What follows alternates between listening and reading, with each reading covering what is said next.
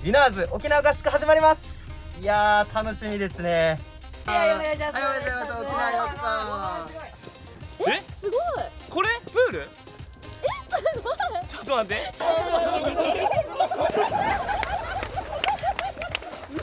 おお来た来た来た。来たどうぞ。うわーすごい。おかしいおかしいなんかカーテンビールみたいな。ある人から。メッセージもウィナーズの皆さん、こんにちは。本田圭佑です。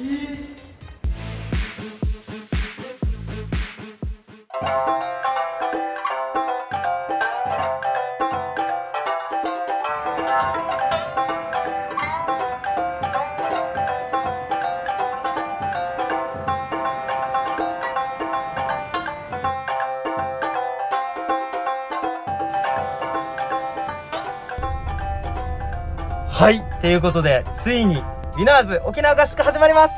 いやー楽しみですね。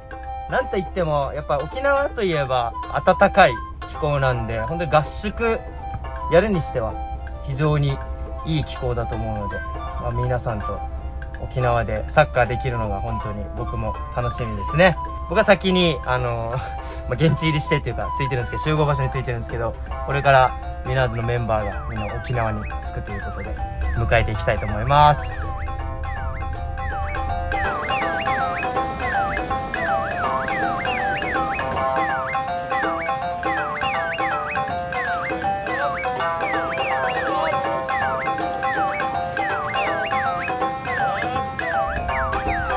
一人目ウンパルン。パ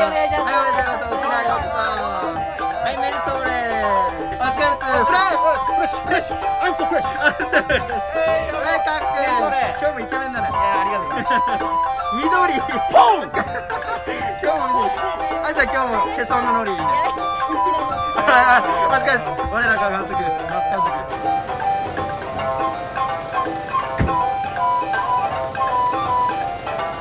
皆さん沖縄沖縄どうでしょうか？沖縄の気候どうですか？シーサーです。シーサーです移動疲れありますかね？ノンフルエンサーです大丈夫ですか？沖縄楽しんでいきましょう。は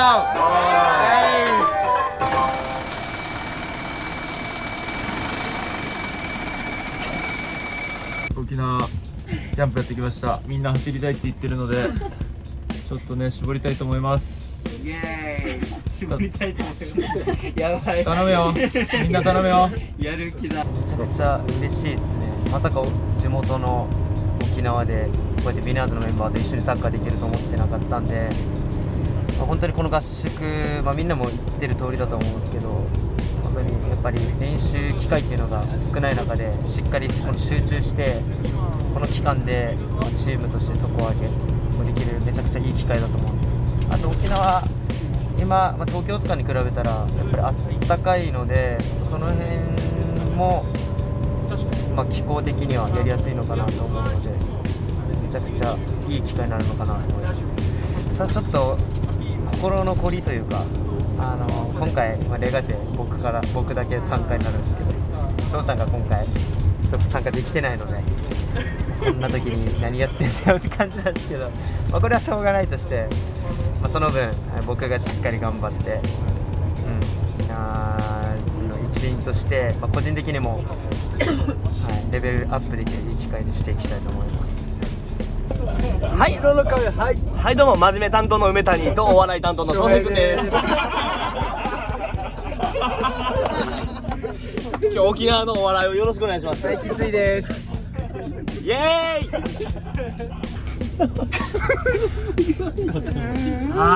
どうですか？どうですか？沖縄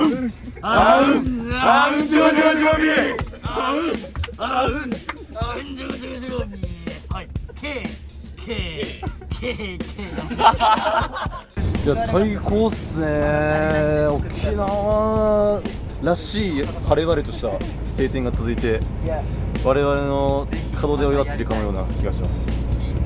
前の合宿もなかなかハードでもう宿着くなりベッドにバタン級だったんですけど今回もそんなね合宿を僕送りたいなって思ってます。やめちゃくちゃ楽しみですしやっぱり前回の合宿が怖あの本当にきつかった分、えーとまあ、今回もきついだろうなとは思うんですけどやっぱりこのメンバーは本当に家族みたいな感じだなって僕思うんでちょっとなんかきつさとかよりも楽しみの方が大きいですね。初合宿ですけどあのねめちゃくちゃ楽しみではあります。ただまあなんかきついことやるとは思うんでそれはちょっと怖いですけど。まあでも楽しみですね、まあ、まずしっかりついていけるように頑張りたいと思いますね。体力的に多分厳しいかなと思ってるので。前回の合宿でちょっと体が来てたんでその体が来ないようにケアと食事と睡眠としっかりとりながらなんか結構ハードな練習っていうのは噂では聞いてるんでそれをねしっかり乗り切れるようにポジティブな声もかけてみんなで乗り切って楽しんでややっていきたいと思ってますシーズン3ではなかなか勝ちきれないことが多かったんで、まあ、この合宿でチーム力上げてその試合で勝つっていうのを目標にまずは、えーまあ、最初の試合までの日数を大事にしながらやっていきたいと思います。まあ、こうチームとしての、まあ、こう共通認識とか、まあ、こう同じ絵を描いていくみたいなところはやっぱりこう話す時間もたくさんあるので、まあ、そういったところはうまく構築していきたいなと思ってます。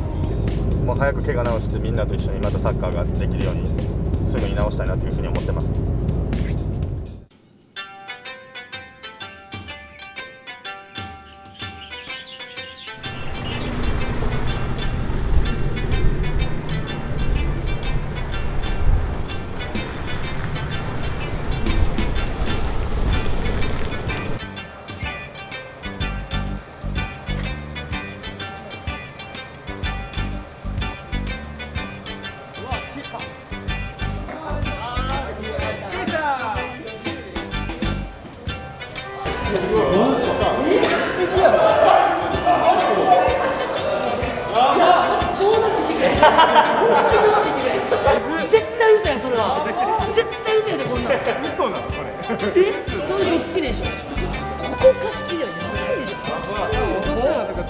いや今日から3泊、えー、ここ沖縄でこちらのホテルで合宿しますみんなで頑張ればどんどんね宿舎もすごいはいアップグレードするっていうことなので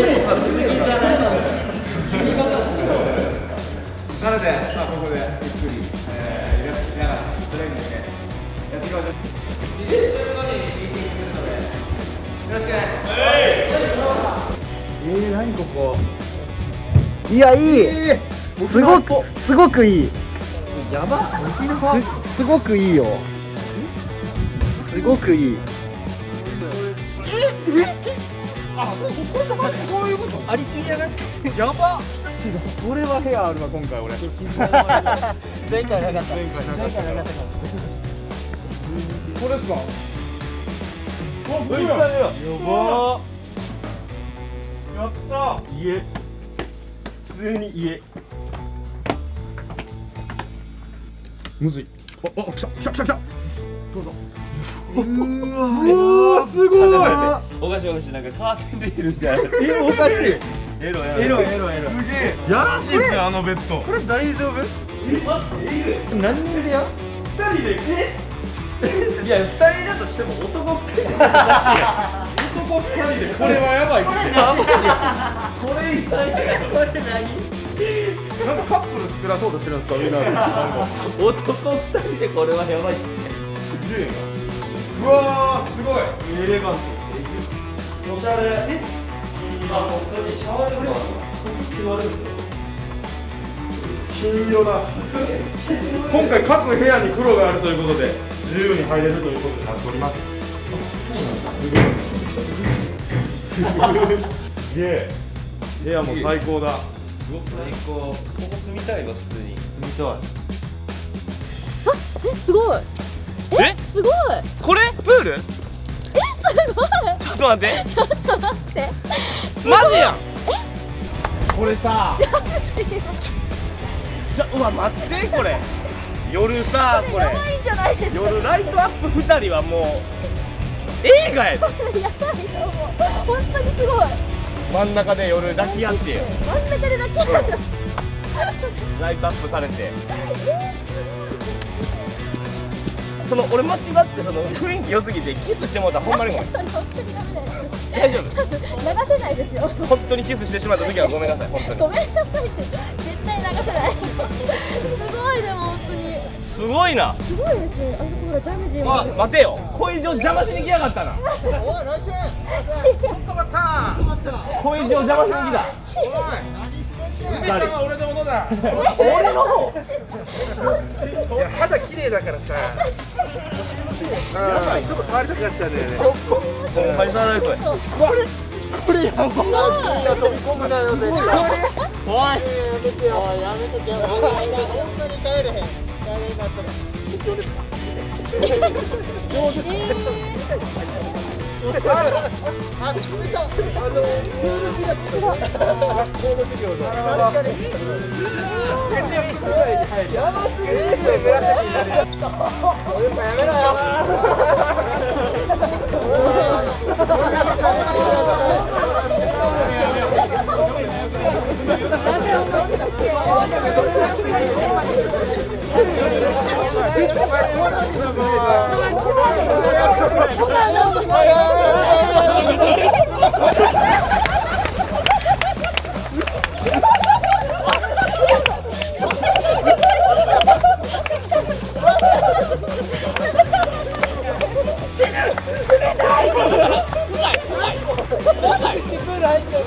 じゃあ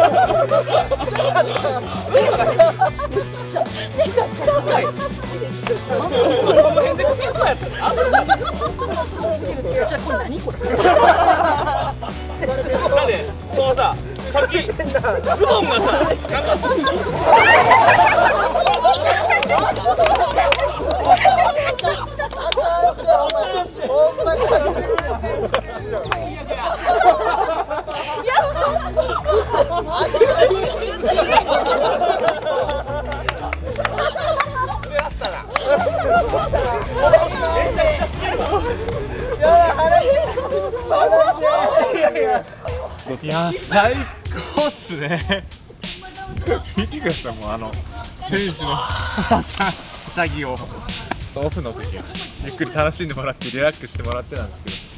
これからもうバシバシこの環境でやれない言うたらちょっとね。もうちょっとこうあの疑っちゃうので。このこんな環境でしてもらったんでもうねこれからたくさんトレーニング鍛えてやろうと思ってので、は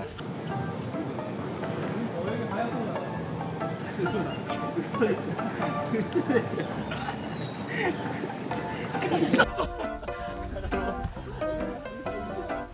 いやいいっすねほんまに。いやーすごっ。あええあこんな感じのプールになってるんですね。やってもだやってもだやってもだ最悪や。やってもだえ落ちた。水きれいすぎてやってもだやってもだ巻き巻き巻き俺もやったりなんなんや靴まで痛い俺すげえこれ見てみよ。最悪や。終わった。終わった。これでミーティング終わった。沖縄最高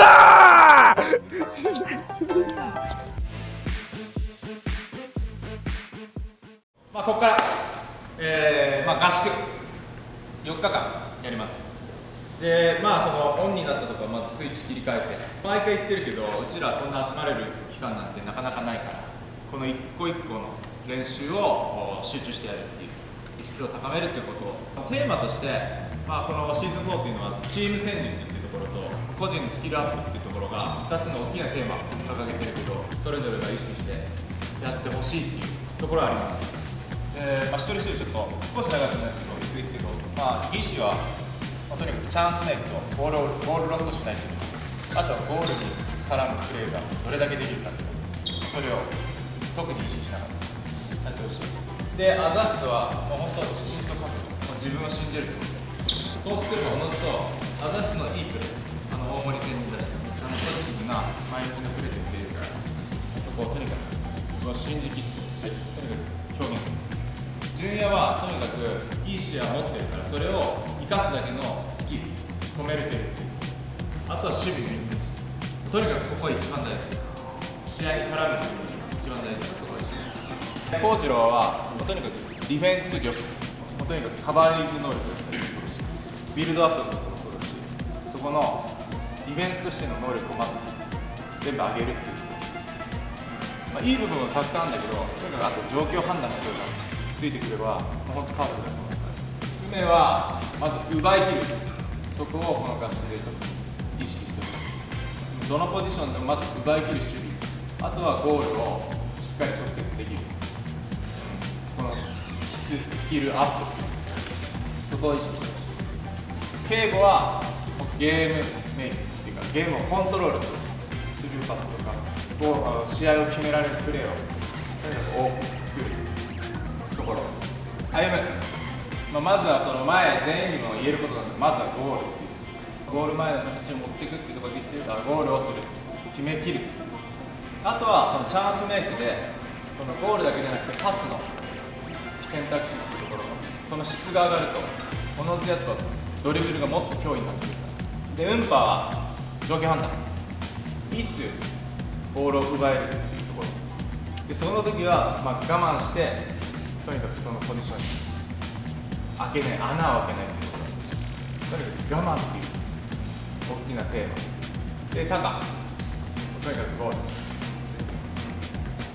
もっとストライカーとしてあそこのゴールっていうのを決めきることでもっと凄みも増すと思うし、まあ、チームとしてもやっぱり前が決めてもらうっていうのはすごくね活性化するじゃないですかそこが自信持ってプレーするっていうのはチームとしての底上げっていうのが絶対的に必要なのゴールところまた資源まあディフェンスリーダーとして、まあ、経験値も長いかもしれないとにかくそこのディフェンスを指揮するという統率するその疲れた時間帯でもその冷静な判断の中で守備を仕切るかける絶対的に定時に行かれないとか遅らすディフェンスなのか取り切るディフェンスなのかっていうそこの判断っていうところ、えー、マス、マスはまずは球際の部分もうとにかく取り切る。とか奪い切る。とか気持ちを見せる。とかそしたらマスの持ってる。スキルの部分でスキルの部分が生きる。と思うから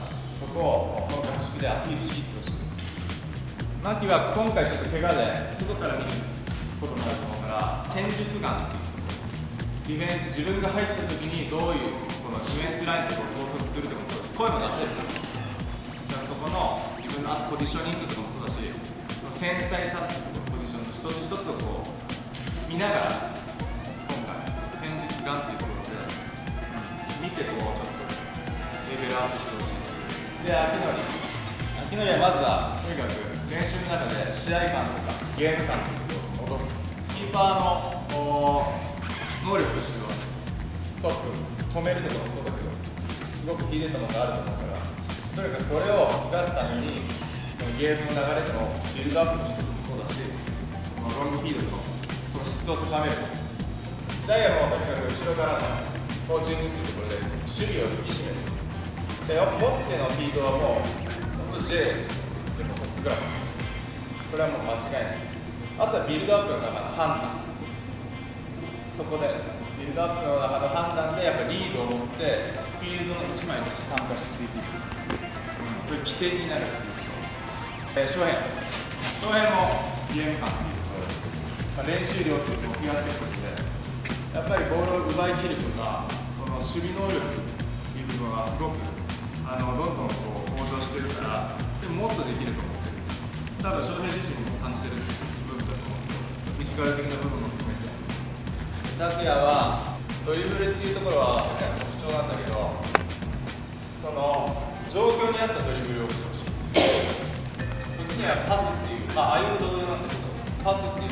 がタキヤのドリブルを生かす最大の武器になる。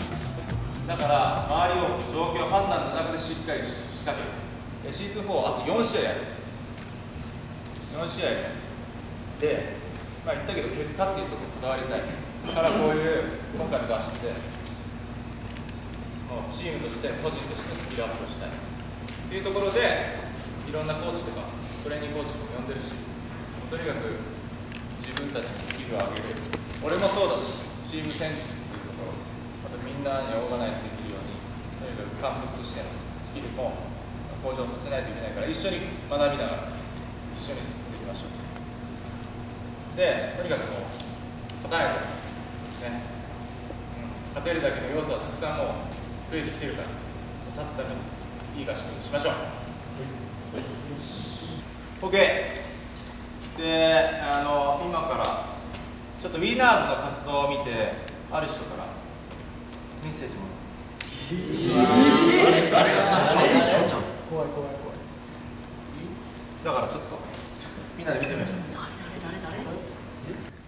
うウィナーズの皆さん、えーこんにちは本田圭佑です YouTube 部界最強のサッカーチームを目指しているというふうに聞いてますでただその何ていうんですか実力的にどのレベルか僕全然分かってないんでちょっとコメントがしづらいんですけど僕が立ち上げたあのエドールユナイテッドというクラブがあるんですけどぜひあのそのクラブと、えー対戦して、えー見てほしいなと思ってます、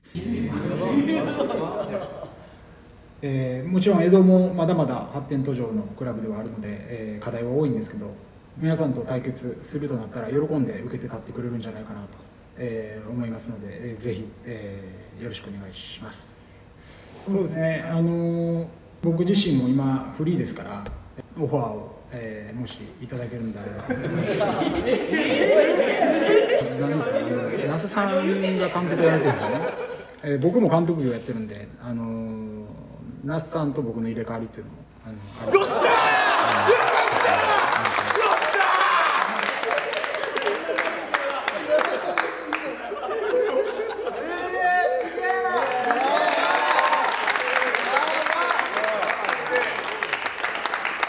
一番喜んでたね嬉しい入れ替わるみたいですね本当に入れ替わりありがとうございました来年で入れ替わりませんそうででねそんな喜んでるからはいまさかのマキにはいメッセージえー、個人的にすごいすごいえー、マキーガさんに対してもなんか一言欲しいあのお願いしますえーとお願いしますみたいなこと言われてたんですけど、えー何度かねもうマキーガさんとはお会いしてるんで、えー特段なんか、うん、初めましてとかでもないんですけど まああの普段からモノマネして、えーいただいてるということでそれに関してはあの本当にありがたく思っているのと。まあ、そうですね。強いて言えばあのオーストラリアで言った時のあのモノマネのライセンスフィーがまだ僕の方に支払われていないということぐらいですかね。その支払いだけ、まあ、お待ちしてます、はい、もし、えー、オドエドオールユナイテッドに勝つことができれば、まあ、そのライセンスフィーの免除も、えーあの罰ゲームとしてなしにするみたいなのもありかなと思ってますすごいすご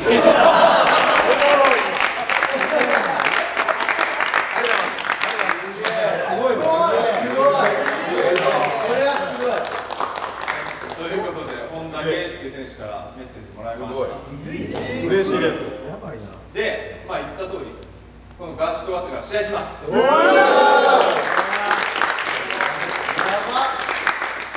からまあ本当にいい合宿にしてエドールに勝ってでなんだっけライセンス費はい。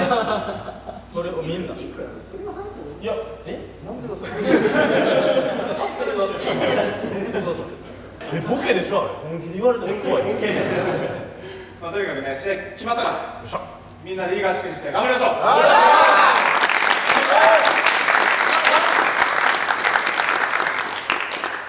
はい、ということで、これが合宿初日、皆様、大好きな恒例のフィジカルトレーニングです。よーみんな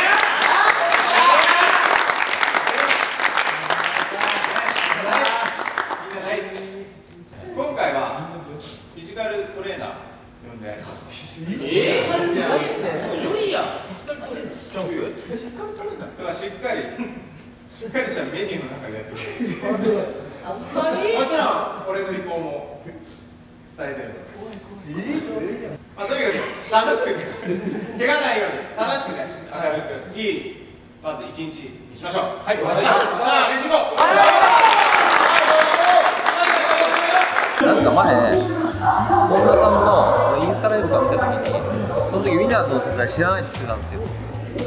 で、今回こういうメッセージでもう認知してもらえてるんで、そそっちに嬉しいです。で、あの、エドオールユナイテッド、僕バス知ってたんで、そことまた試合できるっていう。のは、あの、めちゃくちゃ嬉しいし、もしかしたら会えるチャンスあるんじゃないかなちょっと思ってます。いややばいでしょあれ。ガチっすか？いやいや。俺はマジでびっくりした。そんなことありえるみたいな。でまずウィナーズを本田圭佑さんが知ってくれたことがまず嬉しくて。でしかも試合をできたらしたいみたいな言われて。えいいやこれはでも勝ちたいなほんまに今まで以上に気合の入り方が違った。からここはほんまに勝ちたいん。でもうこの合宿でめちゃくちゃあの鍛えてあのチームがもっともっと一つになってあの試合に勝つように頑張っていきます。そうですね、まあ、やばかったですけど、まあ、エド・オールと試合してほしいですね。え？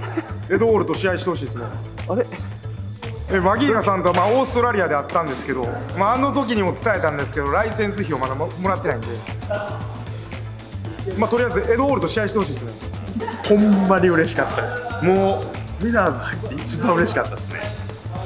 もうやっぱ大好きな選手なんで本当に嬉しいです。ありがとうございます。ワン東京っていうチームだったんですけどワン東京っていうチームのセレクションに受ける受けない巻き引きがどうなるのかみたいなのをまあ一応ヤフーニュースとかでも取り上げていただいたりして結構僕も縁とゆかりあるチームなのでまあそこに勝ちたいなというふうに思ってます。トレ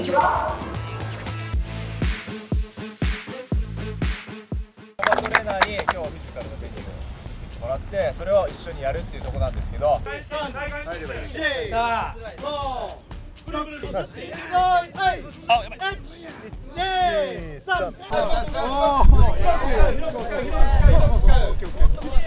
ッケー、まず右足からね。そういうことか。はい、パスね、もうちょっと足の下に入ってます。はい、こういう風にして、はい、こう見ながら、で、頭がぶれないように。はい、動く動く動く。広く使う、広く使う、広く使う、広く使う。青いやつ、五、二、三、オッケー。よっしゃやばい。皆さ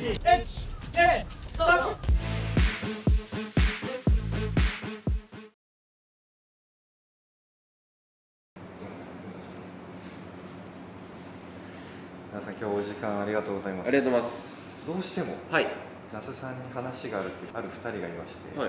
もうすぐ来ると思うので少々あわかりました。いただければと思います。どんな二人って聞いていいんですか？ちょっとお楽しみにわかりましていただければと思いますので。はい。すいません少々お待ちください、失礼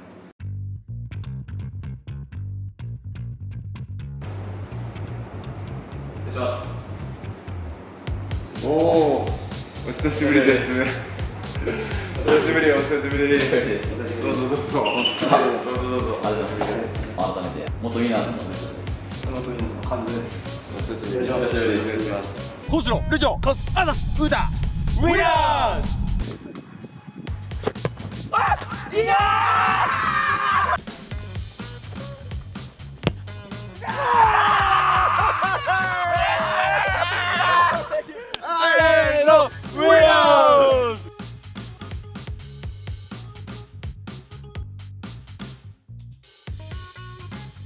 新生ウィナーズカモンは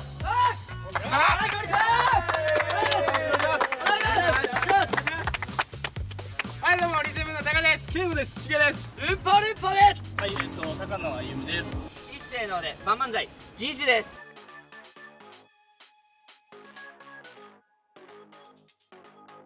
今日ははい。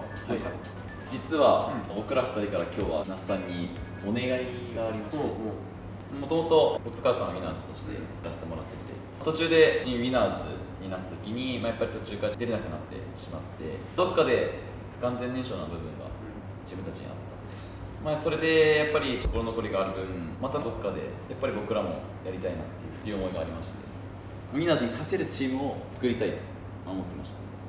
ミナーズみたいにインフルエンサーの方々を、まあ、集めて強いチームを作ってミナーズに勝てるチームをちょっと今作ろうと思ってるのでインフルエンサーでチームを作るので、まあ、那須さんにお願いしてぜひミナーズとまた新しいインフルエンサーのチームで試合をさせていただきたいなというふうに思います。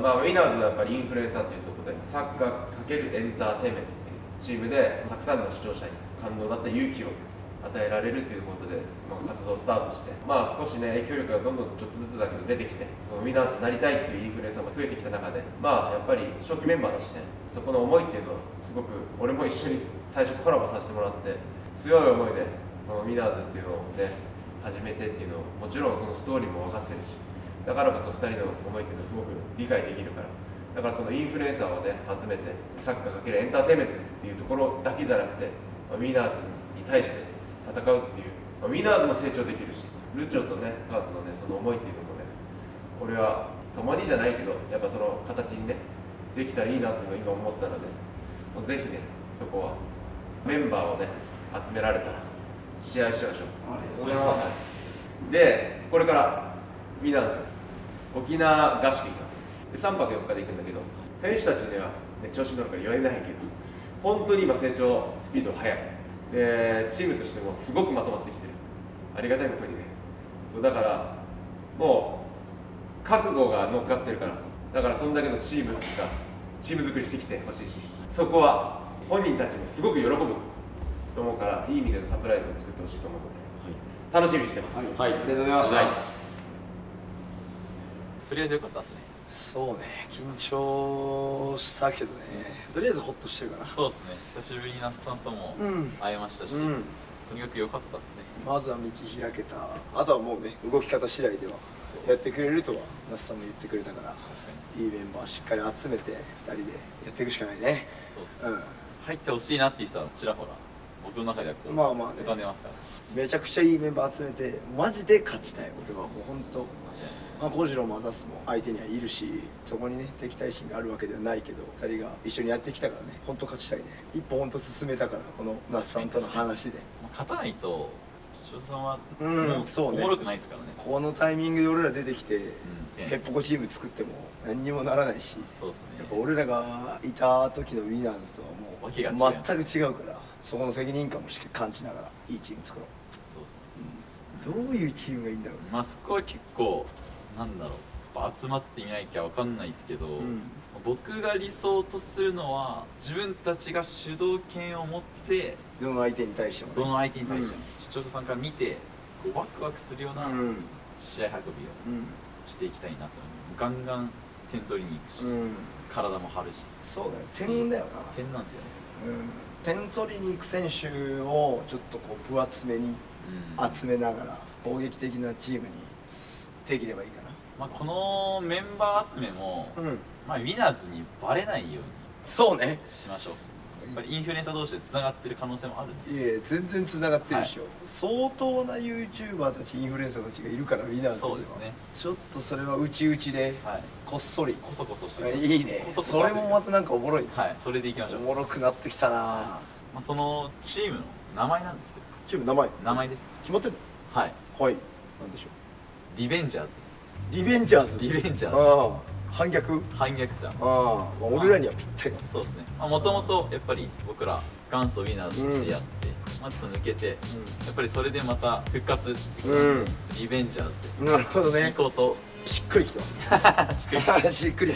僕はしっくりリベンジャーズね、はい。それ背負って。そうですね。世に花立ちます、まあ、僕らがいるしかない頑張ろう。頑張りましょう。うん。頑張ります。頑張りましょう。はい